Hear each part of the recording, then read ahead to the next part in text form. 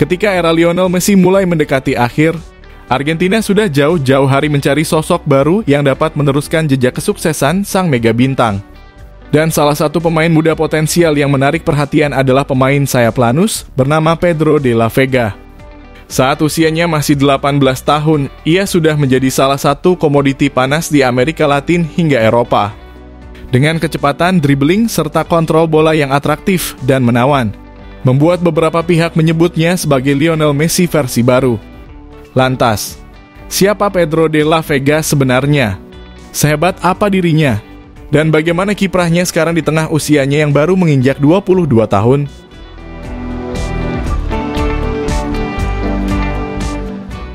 Pedro de la Vega yang lahir di Olavaria, Argentina pada 7 Februari 2001.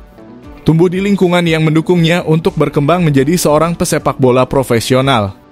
Langkah pertamanya di dunia sepak bola datang bersama tim lokal Ferrocarril.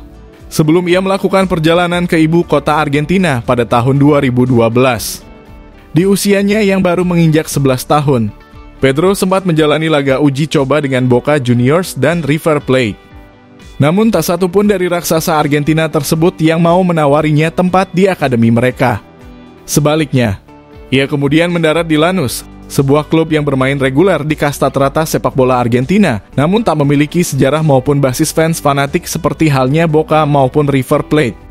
Selama bertahun-tahun mengasah kemampuannya di Akademi Lanús, Pedro dikenal karena kecepatan, dribbling, hingga naluri mencetak golnya yang luar biasa. Tak heran jika dirinya sering diplot sebagai winger ataupun goal getter sekalipun. Pedro juga menunjukkan kepemimpinan dan etos kerja yang kuat sehingga membuatnya menjadi salah satu prospek terbaik di Akademi Lanus.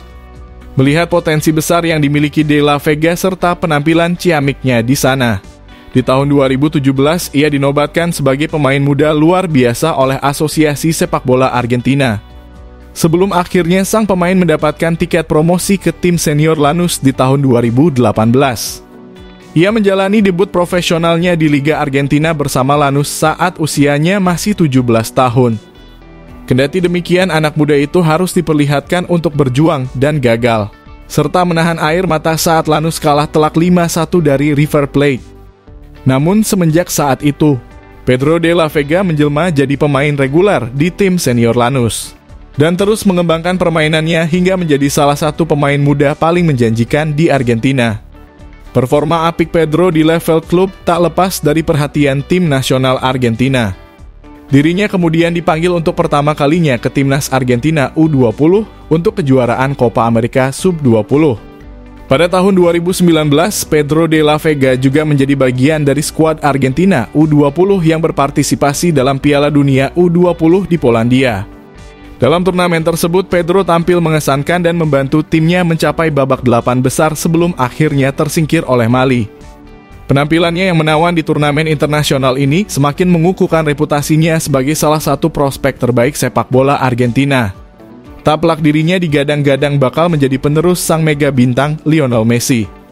Pedro dan Messi sama-sama dikenal karena kecepatan, kelincahan, dan kemampuan mereka untuk melewati pemain lawan dengan mudah. Kemudian Pedro dan Messi punya kesamaan dalam hal posisi, yakni sebagai pemain sayap ataupun penyerang. Mereka berdua memiliki kemampuan untuk bermain di kedua sisi lapangan dan sering kali berperan sebagai pencetak gol atau playmaker bagi tim mereka. Meskipun Pedro masih muda dan belum mencapai tingkat kemampuan Messi. Potensi yang dimilikinya juga menunjukkan bahwa ia dapat mengembangkan gaya bermain yang mirip dengan sang mega bintang di masa depan mengingat usianya kini baru menginjak 22 tahun.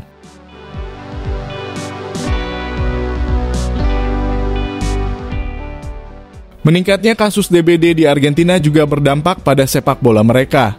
Menurut laporan terbaru dari Kementerian Kesehatan Argentina, terdapat lebih dari 41.257 infeksi dilaporkan. Dan salah satu korbannya adalah Pedro de la Vega, Winger Lanus itu menunjukkan gejala yang sesuai dengan demam berdarah beberapa waktu lalu pasca menjalani studi medis.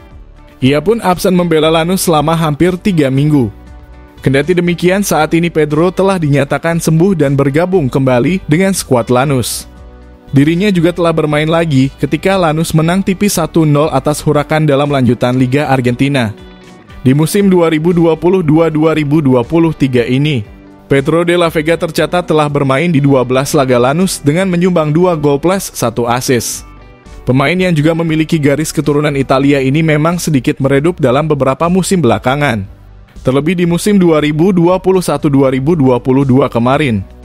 Winger 22 tahun tersebut harus absen hampir semusim penuh lantaran diterpa cedera ligamen. Kendati potensi besar yang dimilikinya sempat membuat sejumlah raksasa Eropa kepincut padanya. Namun lagi-lagi cedera menjadi penghalang kebintangan pemuda Olavaria tersebut. Taplak dirinya sampai saat ini hanya bermain bagi Lanus saja, dan belum pernah sekalipun berpindah klub ataupun mencicipi atmosfer sepak bola Eropa. Kendati demikian, tak menutup kemungkinan juga bahwa Pedro de la Vega bakal bersinar di musim-musim mendatang dan menyeberang ke tanah Eropa. Jika kalian setuju dengan video ini bisa share ke media sosialmu, agar teman-teman kalian juga tahu dan jangan lupa like, komen, dan subscribe channel ini.